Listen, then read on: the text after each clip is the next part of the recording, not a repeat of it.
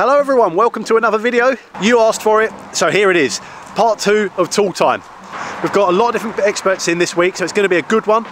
Steve, hopefully, Dean, uh, whoever's in, I'll catch them. I think that's Dean I can see down there. Let's try and catch him first. Repair Shop's very own shoemaker and leather expert. He's got the most beautiful selection of tools. They're, they're beautifully arranged, they're always pristine, and quite a lot of them are in the new book actually, because you just would have no idea what they're for. And I think Dean's tools, more than anybody else here, are so specific to his job. He's got a pair of pliers that are, they've got like a hammer on one side. Uh, I can't remember what the name of those is. I should know that because they are in the book, but they were from Dean. Um, so I'm so glad we've got a couple of seconds here to chat to Dean and find out what his favourite tool is. And maybe I'll ask him a festive question as well. It's Christmas after all. Hello, how are we doing? I'm Dean Westmoreland, the shoemaker down at the repair shop. I've also got my own business been in the trade about 16 years. Love shoemaking, love leather work. Now, Dean, what is your favourite tool? If you had to choose one, and I know you've got quite a few. Oh man, it's so difficult, so, so difficult. I think probably this, this lip iron. This was uh, given to me, I've had a lot of tools gifted. I've been very, very lucky over the past few years. Old shoemakers, old repairers have gifted me a lot of tools. This is an old lip iron that was made in Sheffield, God knows when um, and I use this. So when I've sold a boot this hasn't got a sole on yet. This is your boot. These are mine. That's actually my boot yeah, yeah. to, to, be ready soon. Um, when all that's trimmed you, you end up with like um, a lot of leather on the top end and on the bottom end if you're doing a leather sole. And what this does is you can use it cold or warm. You can heat it up and it'll just iron that edge out and just give a really uniform, nice profile to it. I see, so it sort of seals the edge of the cut leather. Seals it and it, it flattens everything, so you've got a beautiful line all the way along and that'll run around the heel when you've got a heel block as well. Yeah. Um, it's really, really subtle. I would notice if I didn't do it, and it's these little subtle things, these micro details that I, I, love about these tools. This were developed just for this. Would, would anybody else be able to use that tool? I can't see why or how anybody would use this. Anybody uh, else? No. You probably find a use. yeah. yeah. Um, yeah, very specific, and there's all different types of lip irons and different depths. Why do you think that's your favourite one? Out of all of the ones you've got, is it just because it's old? It's because it's old. Because it just feels right in my hand. You kind of get used to your tools. You'll know this, Dom. Uh, they become one with you, if you yeah, like. Yeah. Um, and yeah, I just use it so much.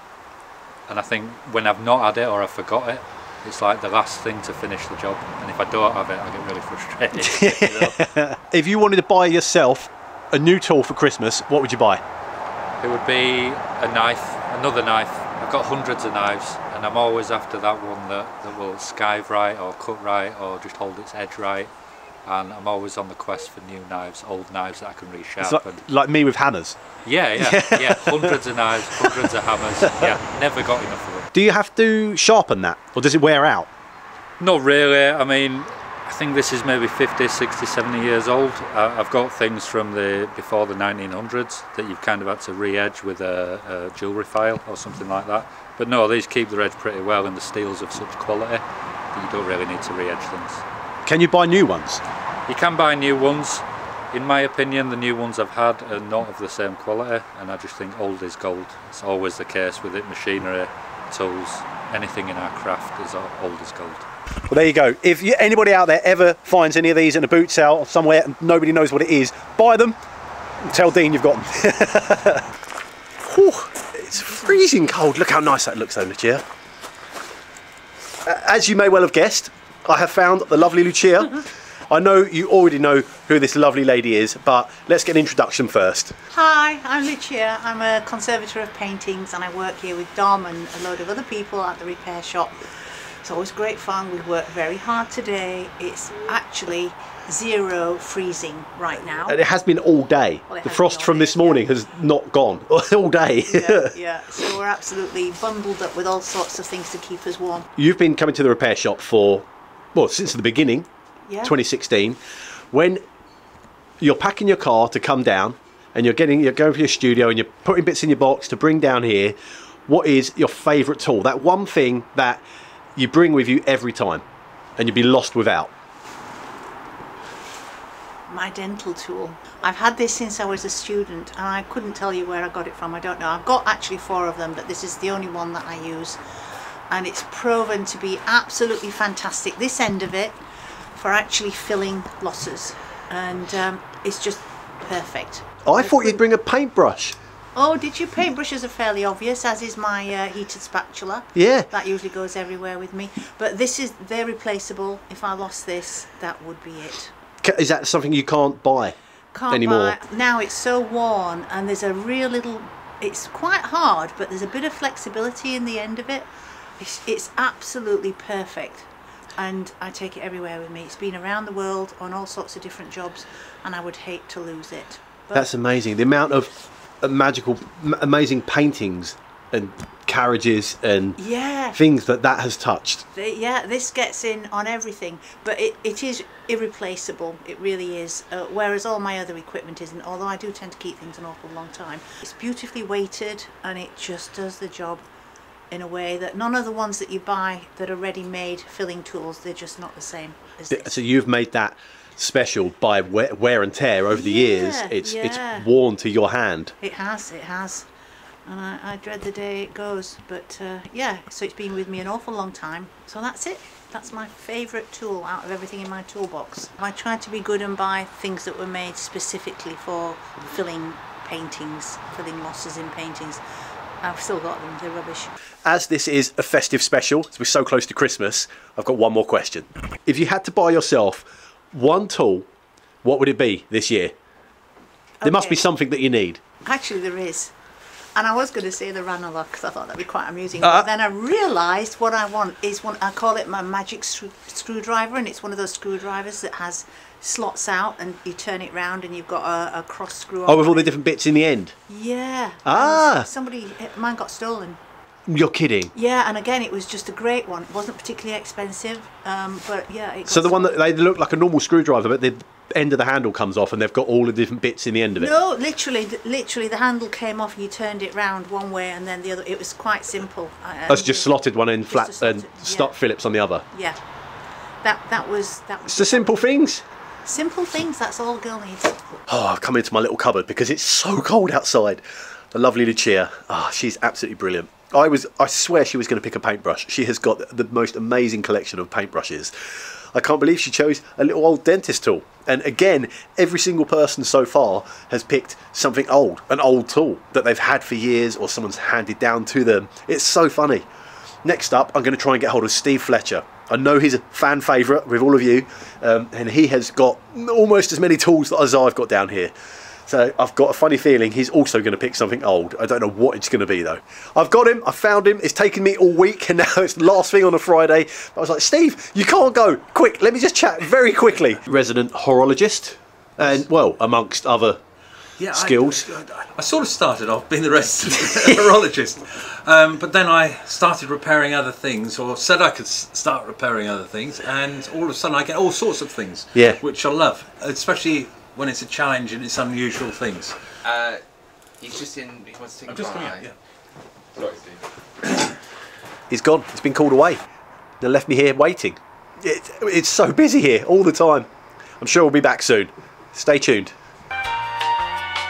Now, the front of your bench is, has become quite a sort of statement part of the barn. That you've got quite the collection of hammers and pliers and, and tweezers and Yeah. files. Yeah. You've got a lot of tools. Yeah, it's where everyone comes to borrow tools. Exactly. I'm guilty of that myself. but um, what is your favourite tool out of all of them and why?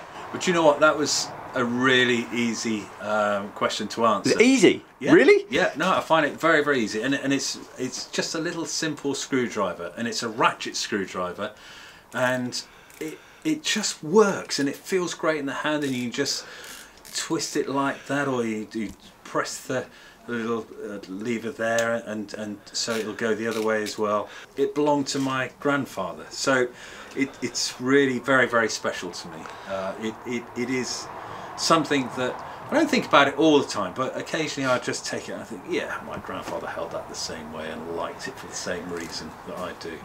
So um, yeah, He was a horologist as well.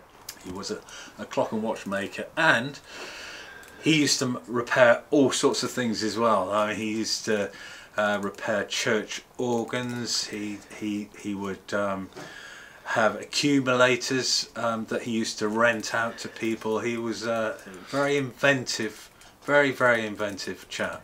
Amazing. Do you have a lot of your tools there from your grandfather, or is that really it? Um, th- th- there are a few more, um, and, and, and a few of my father's as well. Um, so, uh, and I hope to sort of hand that on to um, either uh, one of my children or grandchildren, and, and I hope they think the same way about it that I do. Brilliant. I thought you'd pick one of your lathes. Or, you've got the most beautiful watchmaker's lathe. It is it's a cracking lathe. I like that lathe so much. Um, You're very that- protective over it. I will say that. Yeah, well, that, that was my dad's, um, and uh, it it's such good quality, and it works, and, and it just feels right. And when Yeah. a when a tool feels right, it is right. And that's uh, that's why I love tools. Um, the simplest of tools are some of the greatest of tools, and, uh, and amazing inventions as well. Yeah, like that screwdriver. Yeah, yeah, absolutely. Perfect. Okay, well, as this is a Christmas special, Yeah. this Christmas, if you there must be something on your shopping list, a tool that you don't have Yeah. that you would like. Uh, that's easy. As What's well. it going to be? because uh, the flavour of the moment is, um, and I've seen um, uh, Richard uh, Tolman using one in here, and it's a laser welder. Oh, you're kidding. I- yes. I want one. Do you know when you want something so badly um, that that you just you look on the internet all the time and read about it, and, and you just try and find out everything there is to know about Yeah. it, and and you you get excited like you were when you were a kid waiting for your, your Christmas present or birthday present to come along. You're doing what I do. You're convincing yourself that you need this tool. what I do. no, honest, I do. You've convinced yourself already. I have, yeah, absolutely. Yeah.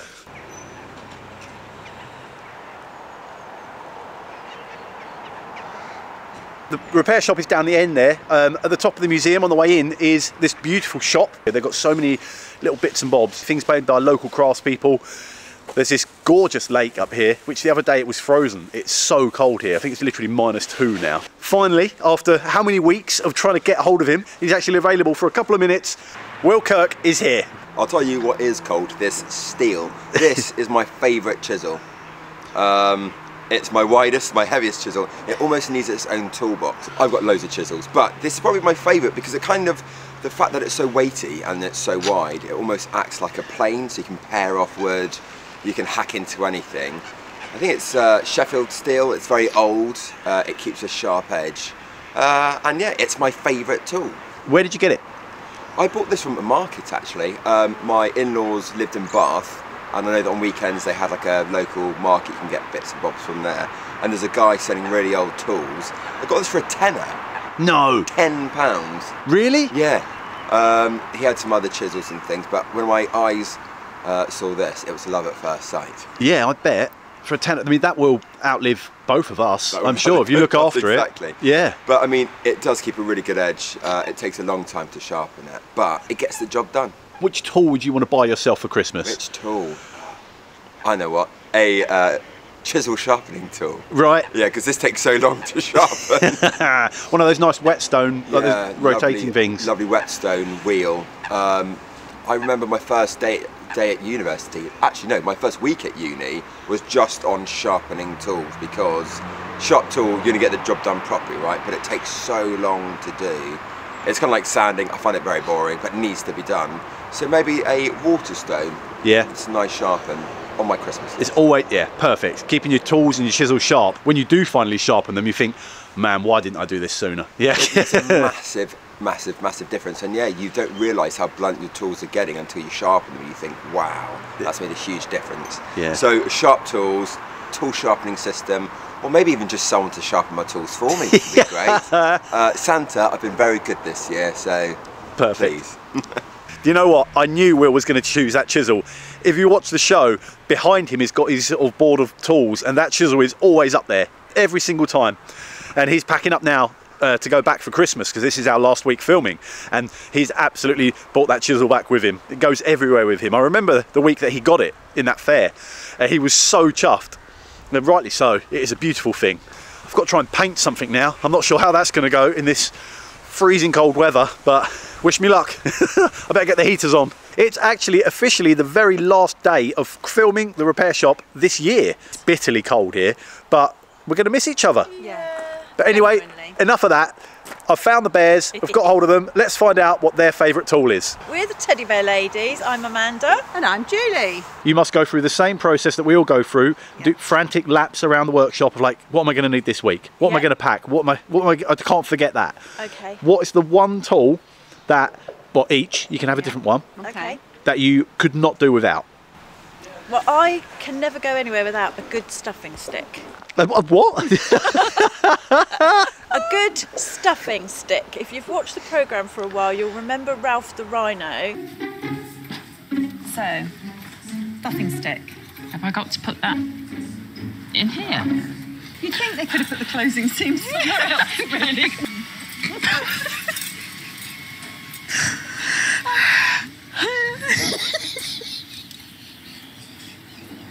All right, Ralph. I'm so sorry. This will hurt just a little bit. He um, was able to have a go with the stuffing stick and found it very satisfactory. But it is really good for getting into all those nooks and crannies where you can't reach with your fingers. If you is, like. is that a tool you've made? No, no, it's actually, we believe it's an upholstery tool, Ah, but it works so well with us, especially with our wood wool, because you can kind of twist and push, twist and push, and it compacts everything down. So it's absolutely brilliant and a vital bit of kit. This is really good when you've got a bigger bear and you want to get right down into his toes or down to the end of his nose, you know, and it just, your hands can't quite get there. This is your tool. It's a German tool made by a company called Athlet, and We've had this one years actually, probably as long as we've been working together, so about 16 years, something like that. Yeah. So it's got a nice, you know, when they get a nice feel, absolutely. Yeah. The handle starts, you get that lovely patina on there and you know that it's yours. Julie, how about yourself? Nothing very exciting, but essential. Good, sharp scissors. You and your scissors. They disappear. Yeah, I am guilty of stealing They them. They wander off around the barn and get used to cut everything except what they're meant to be cut with. And you need to keep your scissors for what they're meant to be cut with. These ones are fabric and thread only. It's Very strict rules with your scissors. Yes. very strict rules with our scissors. Cut paper, they're ruined.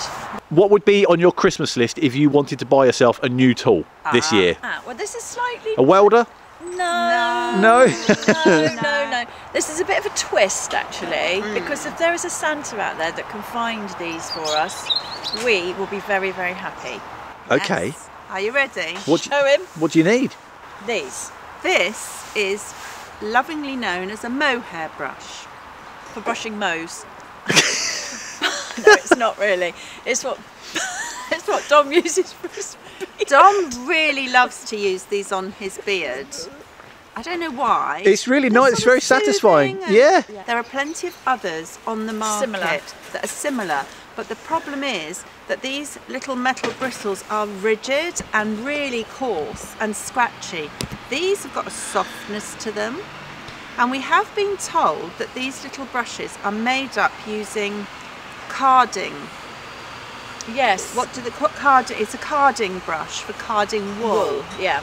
But there must be different grades of carding brushes because, as I say, this one you can see I can squash it with my fingers.